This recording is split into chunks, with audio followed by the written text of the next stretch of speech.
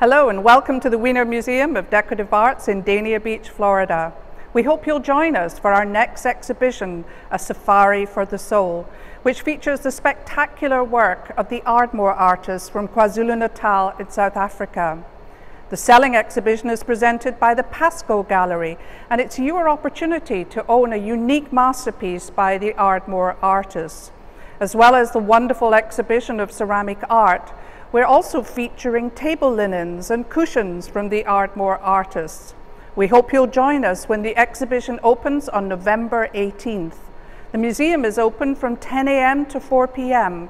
from Tuesday to Saturday, and we look forward to seeing you here very soon.